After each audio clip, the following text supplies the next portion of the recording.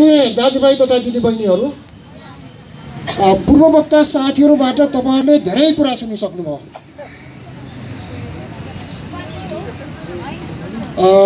मैले अलिक फरक कुरा गर्न चाहन्छु।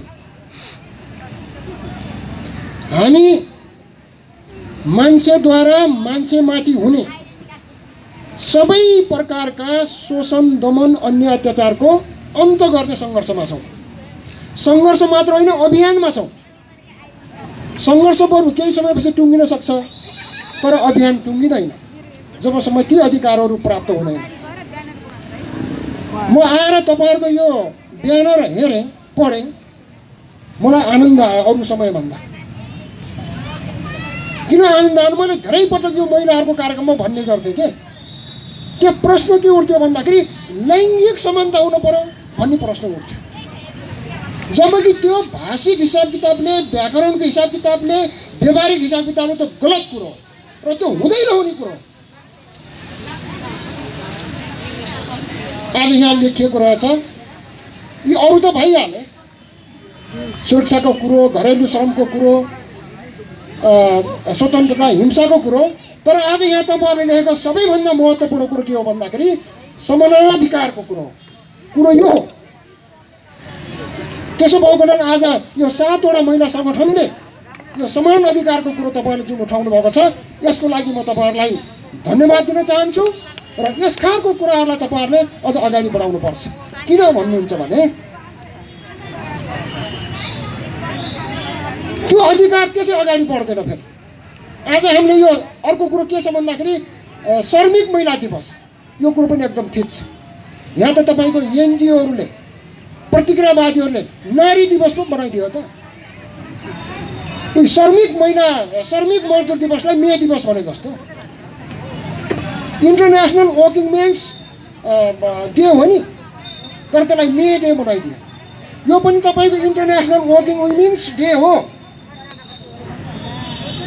तर नारी दिवस बनायो यो कुरो तपाईँहरूले बुझ्नु छ र यसमा मेरो सबैभन्दा जोड के छ भन्दा अघि धेरै साथीहरूले भन्नुभयो म तिनवटा शब्दबाट सुरु गर्छु। यो भाषा भन्ने कुरो कस्तो हो भन्नुहुन्छ भने यो भाषा नभएको भए मान्छे चाहिँ तपाईँको अरू जनावर जस्तै हुन्थ्यो। तपाईँलाई रिस पनि उठ्ने थिएन यो झगडा पनि हुन्थेन पार्टी पनि बन्ने थिएन यो राज्य सत्ता पनि बन्ने थियो केही पनि बन्ने थिएन। सबै कुरो भाषा नै हो बनाएको। है? र तिनवटा शब्द म तपाईँहरूलाई भन्न चाहन्छु। तपाईँहरू विज्ञ हुने कि बौद्धिक हुने कि बुद्धिजीवी हुने। यो तिनवटा कुराबाट तपाईँहरूले छनौट गर्नुपर्छ। त्यसमध्येमा तपाईँहरूले बिचको शब्द छनौट गर्नुपर्छ। बौद्धिक हुनु पर्यो अघि आएन कुरो। महिलाहरूको चाहिँ तपाईँको बुद्धि थोरै हुन्छ पुरुषको भन्दा महिलाले चाहिँ तपाईँको धेरै काम गर्न सक्दैन। भन्ने जस्ता कुरा जुन आए त्यो महिलाहरूलाई चाहिँ तपाईँको बौद्धिक होइन कि बोधो बनाउने कुरो हो। बुद्धो बनाउने कुरो हो कि? विज्ञ हुन कुनै गाह्रो कुरो छैन विज्ञ भनेको अङ्ग्रेजीमा भन्दा एक्सपर्ट भन्छ नि। विज्ञ भनेको सिम्पल कुरो हो त्यो।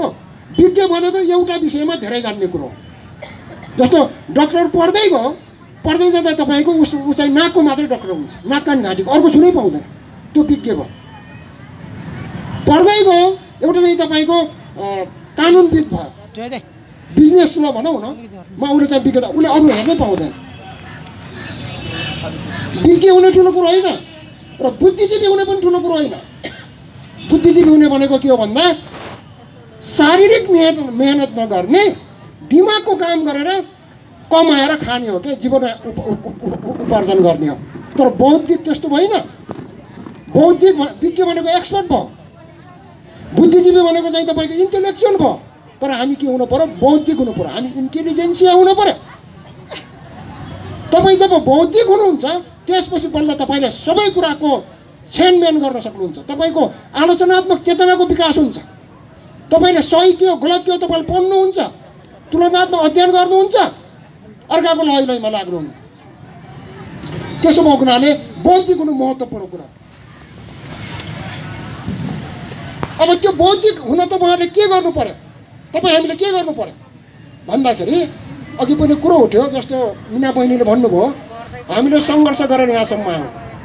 दुई हजार त्रिपन्न सालमा म र मेरो साथी नवराज सुवेदीले संसदमा महिलाहरूलाई पुरुष र समान अधिकार हुनुपर्ने त्यसमा तिनवटा कुरा महत्त्वपूर्ण हुनुपर्ने। एउटा पैतृक सम्पत्तिमा समान अधिकार हुनुपर्ने। अर्को चाहिँ गर्भपतनको अधिकार उनीहरूमाथि हुनुपर्ने। किन भन्दा त्यो गर्व उनीहरूको हो।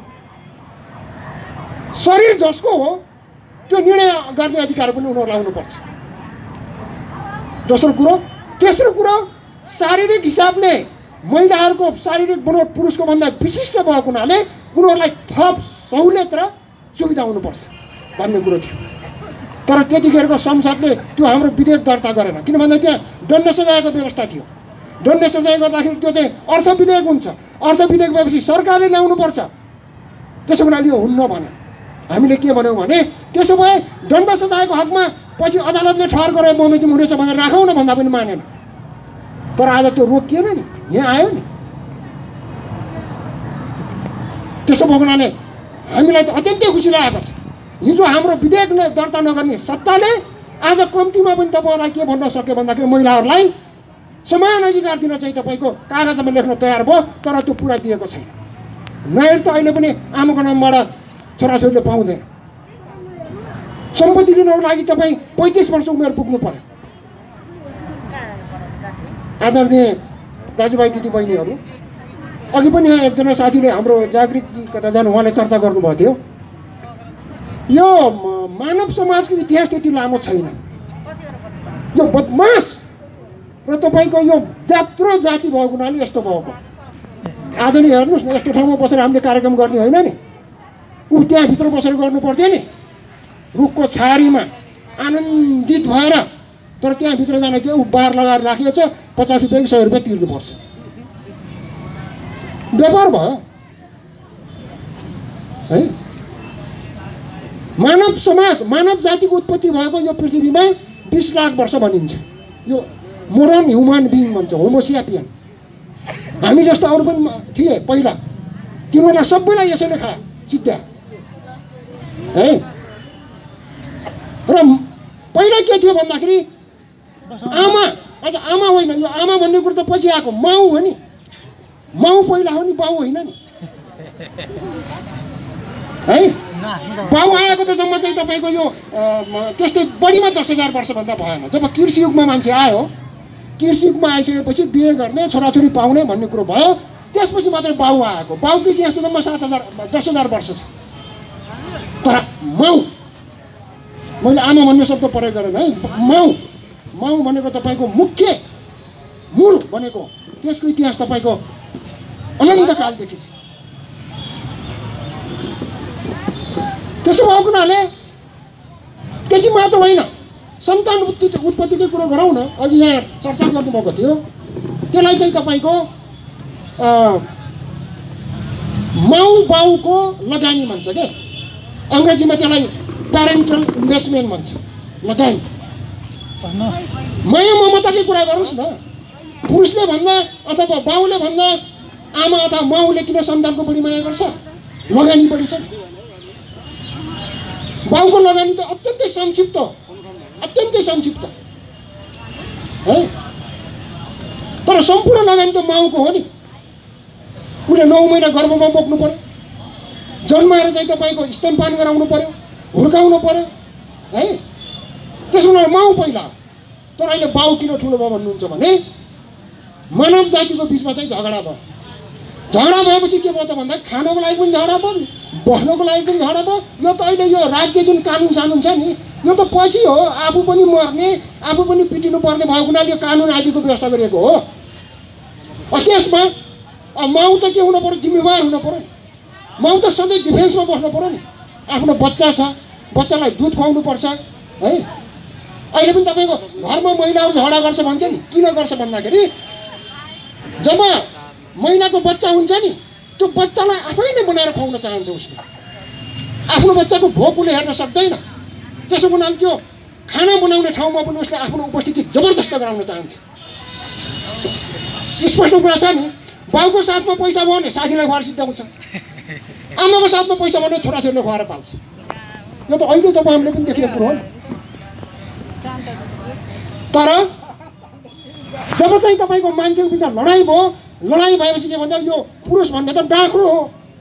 मेरो मेरो भाषा मैले डाँख्लो भन्छु। डाँख्लो भनेको केही लिनु पनि छैन दिनु पनि छैन। बच्चा पाउनु परेन काखमा आउनु परेन हुर्काउनु परेन जहाँ गएर पल्टे पनि भयो जहाँ सुत्यो पनि भयो जहाँ खाए पनि भयो। अनि प्रकृतिले पुरुषलाई के बनायो भन्दाखेरि डिफेन्समा पठायो क्या लडाइँमा लड्नै पऱ्यो हो। अनि त्यो लड्दै लड्दै जाँदाखेरि के भयो त भन्दाखेरि श्रममा यसको बढी भूमिका भयो हतियार बनाउनु पऱ्यो मेसिन बनाउनु पऱ्यो अनेक षड्यन्त्र गर्नु पऱ्यो टिकदम गर्नु पऱ्यो अनि त्यो गर्दाखेरि के भन्दाखेरि तपाईँको राज्य सत्ता पुरुष हातमा गयो र यसरी यो कारणले गर्दाखेरि के भयो त भन्दाखेरि अहिले पुरुषले आफूलाई प्रथम सम्झ्यो र अहिले हामीले पुरुष प्रधान समाज भन्छौँ नि। पुरुष महिला प्रधानै होइन नि यो त बराबर हो यो त इभोल्युसनको क्रममा यो त जीव विकासको क्रममा भएको कुरो हो जब स्थूल जीवहरू स्थूल जीव पनि होइन ब्याक्टेरियाभन्दा माथि भाइरस र ब्याक्टेरियामा महिला पुरुष हुँदैन त्यसमा सेल डिभिजन भएर चाहिँ सन्तान उत्पन्न हुन्छ त्यसमा तपाईँको प्रोटोजोआ भाइरस भनेको सूक्ष्माणु ब्याक्टेरिया भनेको जीवाणु प्रोटोजोआ भनेको परजीवाणु जब परजीवाणुमा जान्छ अनि त्यसपछि के हुन्छ भन्दाखेरि तपाईँको यो मेल फिमेल हुन्छ स्त्री पुरुष हुन्छ। त्यति मात्र। आदरणीय दाजुभाइ दिदीबहिनीहरू र यो महिलामाथि दमन अझ चर्को दमन कहिलेदेखि सुरु भयो भन्दाखेरि तपाईँको आजभन्दा पाँच हजार वर्ष अगाडिदेखि भयो। दस हजार वर्ष अगाडिदेखि यो श्रीमान श्रीमती भयो नि। जब श्रीमान श्रीमती हुन्छ त्यहाँ त प्रेम सकिहाल्यो अहिले बिहे धुम ढुकाड गरेर हामी बिहे गरेको हेर्छौँ नि। त्यो नथिङ। त्यो प्रेम छ भने त्यस्तो गर्नै पर्दैन। है? प्रेममा सम्मान हुन्छ रेस्पेक्ट हुन्छ। बिहेमा के हुन्छ भन्दाखेरि अधिकार हुन्छ। त मेरो श्रीमान त मेरो श्रीमती भन्ने प्रेम गइहाल्यो। है? तर के भयो त भन्दा बच्चा त जन्मन्छ बच्चा जन्मने भइसकेपछि एकदम प्रतिबद्ध बाबुआमा चाहियो क्या? कमिटेड प्यारेन्ट्स भन्छ। एकदम कमिटेड प्यारेन्ट्स चाहिने भएको हुनाले त्यो बाध्य भएर बस्छ। यो विवाह पद्धतिले चाहिँ तपाईँको यो सम्पत्तिले व्यक्तिगत सम्पत्तिले त्यो सुरु गरायो? अब पाँच हजार वर्ष अगाडिदेखि धर्म भन्ने कुरा आयो फेरि। मान्छेले छ सातवटा कुरा चाहिँ बनाएको छ। यसलाई मानव चेतना पनि भनिन्छ। दर्शन राजनीति कानुन धर्म कला साहित्य सौन्दर्य विज्ञान प्रविधि।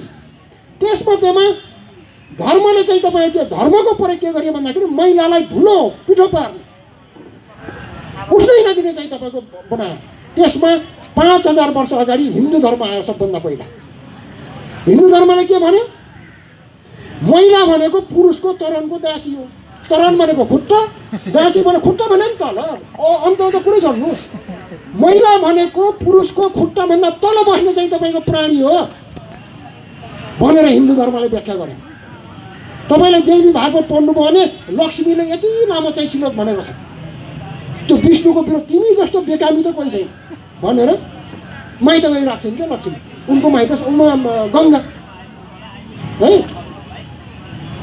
खालि षड्यन्त्र गर्ने लडाउने धलाउने है? बरु त शिव ठिक छ। लुगा पनि अब खरानी दलिएको छ भोले बाबा भएको बसेको छ। भनिरहेको छ क्या हिन्दू धर्म आयो यो अहिले सती प्रथाको कुरा ल्याउनु त्यो पनि यही धर्मले लिएको हो मनुले त झन् स्पष्ट बनाइदियो मनु स्टिलमा महिला अथवा उसले हिन्दीमा लेखेको छ यो महिला दलित गाउँले र यो बाजा यी सबैलाई पिटेर ठिक यसलाई सम्झाउने त कुरै छैन भनेको छ क्या किन कुरो छ? है? यिनलाई बोल्न दिन हुन्न यिनलाई त पिट्नुपर्छ ठोक्नुपर्छ भनेको छ अनि छुट्टै अस्तित्व स्वीकार गरेर श्रीमान मऱ्यो भने तपाईँ जिउँदै चित्तामा के गर्नु पऱ्यो जल्न पऱ्यो तपाईँ सम्झाउनुहोस् त त्यो इतिहास। कति भया ओह थियो होला। अहिले हामीले सम्झँदाखेरि पनि तपाईँको हृदय बिदारक हुन्छ। हिन्दू धर्ममा यस प्रकारका कुराहरू भइसकेपछि अनि त्यसपछि तपाईँको एब्राहमिक धर्म भन्ने एब्राहमिक रिलिजन।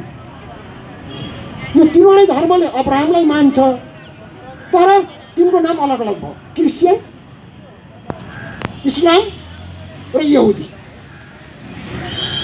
तपाईँहरूले अब हामीले त साहित्यमा पढ्नु पर्थ्यो हामीले इङ्ग्लिस लिटरेचरमा बाइबल पढ्नु पर्थ्यो बाइबलको पुरानो तथ्यहरू भन्ने छ ओल्ड टेस्टामेन्ट। ओल्ड टेस्टामेन्टको पहिलो च्याप्टर नै के हो त भन्दाखेरि उत्पत्तिको पुस्तक भन्ने छ द बुक अफ जेनेसिस भन्ने। त्यसमा चाहिँ तपाईँको सात दिनभित्र प्रभुले यो सबै कुरो बनायो। जलसल छुट्यायो आकाश छुट्यायो बोट बिरुवा होस् भन्यो रुखपात होस् भन्यो सबै भयो। अनि त्यसपछि माटोलाई डल्लो पारेर अनि त्यसलाई मान्छेको जस्तो आकार दियो। अनि नाक बनाएर नाकबाट सास हालिदिएर याडम बनायो पहिलो मान्छे।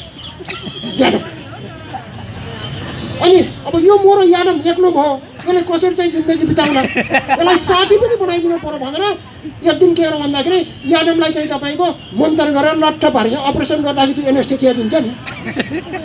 लट्ठ पारिदियो त्यो याडमले केही थाहा पाएन। प्रभुले के हो भन्दाखेरि खुसुक्क याडमको चाहिँ एउटा करङ निकालेर त्यहाँ चाहिँ मैला बनायो।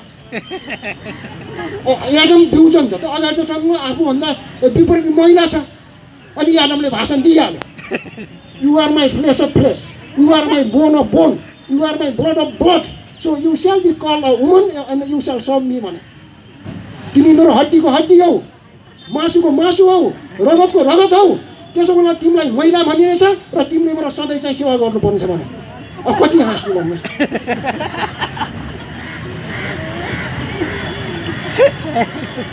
एकजना क्रिस्चियन महिला साथीसँग मेरो छलफल भएको थियो क्या। तिमीहरूकोमा त यस्तो छ नि? भन्दा होइन होइन। प्रभुले किन टाउकोबाट निकालेन? किन खुट्टाबाट निकालेन? करौँबाट किन निकाल्यो? त्यो भनेको बराबर भनेको भन्थ्यो होइन त तिम्रो कुतर्क भयो भने मैले। अब इस्लामले के गर्यो? इस्लामको अर्थ शान्ति हो। इस्लामको अर्थ है। त्यही भएर इस्लाम धर्ममा भेट हुँदाखेरि के भनिन्छ? सलाम वेलकम भनिन्छ। भनेको तपाईँलाई शान्ति छ होस् भने। अनि अर्कोले नि वेलकम सलाम भन्छ। तपाईँलाई पनि त्यस्तै शान्ति होस् भने। तर हेर्नुहोस् त महिलालाई चाहिँ तपाईँको प्राणी नै खान्दैन त्यहाँ तपाईँले घुम्टो हिँड्नुपर्छ। है? तपाईँले आफ्नो अनुहार देखाउनै हुँदैन। इस्लामले यसरी दमन गर्यो त्यसमा यहुदीहरू अलिकति फ्लेक्सिबल छ बुद्ध धर्मले बुद्ध त धर्म नै होइन त्यो त दर्शन हो है? बुद्धको त सिम्पल कुरो छ नि। दुःखको कारण जन्म हो। कृष्णले त्यो दुःख बढाउँछ। मरेपछि सकिन्छ। त्यसो अ, कृष्ण नबढाऊ भन्ने हो। तर बुद्धलाई पनि उनीहरूले के गर्थ्यो भन्दाखेरि हिन्दू धर्मले एघारौँ चाहिँ तपाईँको अवतार बनाइदियो। अब कति हाँस्नु त्यसो भएको हुनाले मैले अघि तपाईँहरूलाई बौद्धिक हुनु पऱ्यो भनेको थिएँ नि। जबसम्म तपाईँहरू बौद्धिक हुनु हुँदैन यस्ता कुराको अध्ययन हुँदैन यस्ता कुराको चाहिँ तपाईँको छ्यानबिहान हुँदैन र यस्ता कुराको विरुद्धमा सशक्त तर्क प्रस्तुत गरेर प्रयास गर्न चाहिँ तपाईँको क्षमताको विकास हुँदैन। यद्यपि अहिले खुसीको कुरो के छ भन्दाखेरि नेपाली मैले हेर्छु नेपाली महिलाहरूले पनि सशक्त रूपमा यस्ता किसिमका कुकर्महरू धार्मिक अन्धविश्वासहरूको विरुद्धमा कलम चलाउन सुरु गरेका छन्। आदरणीय दाजुभाइ तथा दिदीबहिनीहरू।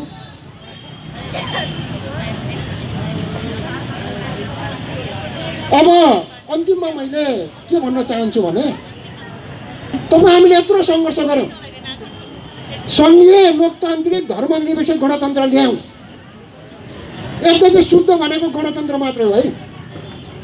यहाँ सङ्घीयता पनि शुद्ध छैन। धर्मनिरपेक्ष पनि शुद्ध छैन। समावेशी समानुपातिक पनि शुद्ध छैन।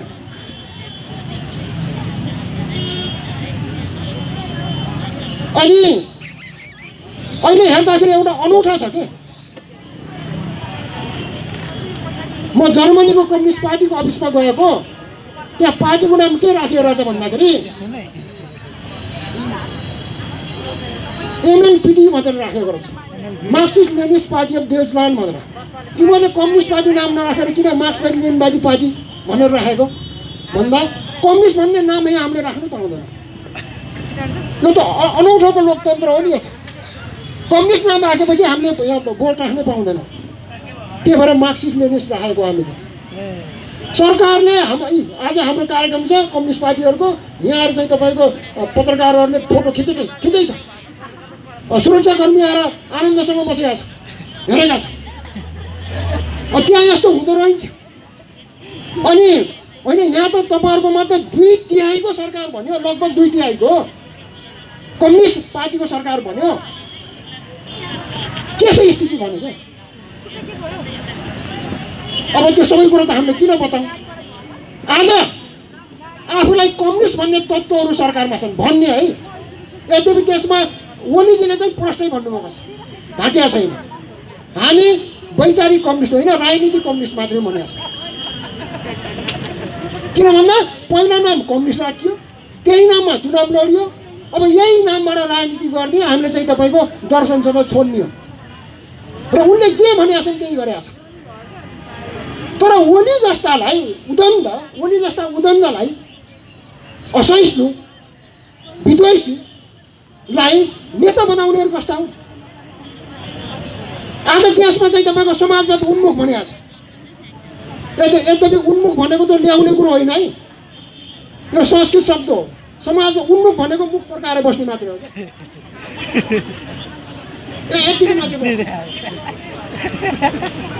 यहाँ समाजवाद आउनेवाला छैन। यो कम्युनिस्ट पार्टीले समाजवाद ल्याउनेवाला छैन काङ्ग्रेसको त कुरै छोड्नुहोस्। काङ्ग्रेसको त जे आउँछ मजाले। है?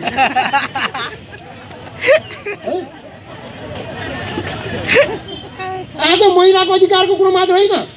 यो कम्युनिस्ट पार्टीको सरकार भएको देशमा दास प्रथा अहिले पनि जिउँदो छ। दास प्रथा जिउँदो छ यहाँ हेर्नुहोस् त। पूर्वमा हरुवा चौरुवा पश्चिममा चाहिँ तपाईँको कमली र कमैया हरिया यो दास प्रथाको चाहिँ अवशेष अझै यो देशमा छ। लाज लाग्दैन यिनलाई। तर यो देशका कम्युनिस्ट भन्ने र काङ्ग्रेस भन्नेहरूले। म तपाईँलाई एउटा ज्वलन्त उदाहरण दिन्छु। यिनले के गरे भन्दा एकजना रोगी बच्चा छन् नि। आदित्य आदित्य। नामको त्यो जन्मैदेखि तपाईँको मनोरोग भएको बच्चा। एउटा कार्यक्रम राखेर ओली प्रचण्ड र शेरबहादुर भएर यस्तो वैज्ञानिक त संसारमा कोही छँदै छैन। ल संसारमा कोही वैज्ञानिक छौँ भने हाम्रो यहाँ आदित्य बाबुलाई आएर चुनौती दियो हाम्रो आदित्य बाबुले जे पनि फर जे पनि सर यस्ता चाहिँ तपाईँको यिनलाई के यी चाहिँ तपाईँको बज्र श्वासहरू हुन् क्या एन्टी साइन्स हो। त्यति मात्र होइन आज धर्मनिरपेक्ष देशमा पशुपतिको शिवलिङ्गमा चाहिँ तपाईँको सुनको जलहरी। जबकि त्यहाँ सुनको जलहरी राख्नै नमिल्दो रहेछ चाँदी मात्रै राख्न मिल्दो रहेछ है त्यो पुरातत्वको विरुद्ध हुँदो रहेछ सुनको जलहरी अयोध्याको सरयू नदी नेपालमा कर्णाली इन्डियाको अयोध्या पुगेर सरयू हुन्छ सरयू नदीको किनार बनाएको अयोध्या चाहिँ चितवनमा छ त्यहाँ मन्दिर बनाऊ भन्ने यिनीसँग रिसाउनु भन्दा पनि हाँसो लाग्दो कुरो आज देशमा महिला हिंसा बढेको छ। महिला हिंसा किन बढ्यो भन्नुहोस् त? यो समाजले सिकायो। यहाँको संस्कृतिले सिकायो। हाम्रो त चलनै छ नि। छोरो बाहिर निस्क्यो भने दिनभरिमा एक दुईजनालाई कुटेर आएन भने त्यो छोरै होइन भन्ने यहाँ त बाबुआमाले सिकाउँछन्। कुटेर आउनु पऱ्यो छोरी चाहिँ तपाईँको घरबाट बाहिर निस्कनु भएन। त्यसो भएको हुनाले मुख्य जड के हो त भन्दाखेरि यहाँको राजनीतिक सामाजिक सांस्कृतिक व्यवस्थाको यो निकम्मापन त्यो भनेको तपाईँको अझ नेपाल त कस्तो भन्दाखेरि यो त पुँजीवादको पनि घृणित रूप हो उपभोक्तावाद हो। आज नेपाल सबै क्षेत्रमा तन्नम छ। हेर्नुहोस् त वीर हस्पिटल चाइनाले बनाइदियो। त्यो दरबार हाई स्कुल चाहिँ चाइनाले बनाइदियो। बसन्तपुरको चाहिँ तपाईँको नौतली दरबार चाइनाले बनाउँदैछ तर यो देशको सरकारले वीर हस्पिटललाई अन्तर्राष्ट्रिय स्तरको हस्पिटल बनाउँछु भनेर कहिले भन्यो? त्रिभुवन विश्वविद्यालयलाई अन्तर्राष्ट्रिय स्तरको हस्पिटल विश्वविद्यालय बनाउँछ कहिले भन्यो? भनेन। तर प्रधानमन्त्री स्वरोजगारको नाममा झारपात तपाईँको टिपेर फालेर अरौँ पैसा पार त्यसो भएको हुनाले यो पुँजीवादी व्यवस्था भनेको कस्तो हो त भन्दाखेरि यसले हरेक कुरालाई वस्तु बनाउँछ बिक्री गर्छ। त्यही भएर आज सबै कुरो महिला मात्र होइन। महिलालाई त पहिल्यै बनायो। वस्तु बनायो क्या कमोडिटी राजनीतिक अर्थशास्त्रको भाषामा भन्नु पर्दा भन्दाखेरि वस्तु माल कमोडिटी बिक्रीको वस्तु। अहिले त पुरुष पनि बिक्री भयो नि। अघि पनि साथीहरूले चर्चा गर्नुभयो सम्पूर्ण युवाहरू विदेशमा। आज नवदास उत्पादन गर्ने देश भएको छ नवदास दास प्रथा सकियो तर नवदास व्यवस्थाले उत्पादन गरेको छ त्यसो भएको हुनाले यसको जड के हो त भन्दाखेरि यो पुँजीवाद हो पुँजीवादले कमाउनको लागि जे पनि गर्छ यसले प्रकृति बेच्छ तपाईँको जग्गा बेच्छ सबै दिदी बहिनी आमा सबै बेच्छ यसले दाजुभाइ सबै बेच्छ र यो देशको सरकार र व्यवस्था भनेको दलालहरूको व्यवस्था त्यसो भएको हुनाले आदरणीय दाजुभाइ तथा दिदीबहिनीहरू यो व्यवस्थाको यस प्रकारको चाहिँ तपाईँको प्रतिगामी जनविरोधी व्यवस्थाको अन्त गरेर यो देशमा हामीले जनगणतन्त्रको स्थापना गरेर वैज्ञानिक समाजवादको दिशामा अगाडि बढ्दासम्म हाम्रा समस्याहरू समाधान हुँदैन। अन्तिममा आज हामीलाई अहिले विचार व्यक्त गर्ने अवसर दिनुभएकोमा आयोजकलाई धन्यवाद दिँदै आफ्नो विचार टुङ्गाउँछु हस्त धन्यवाद।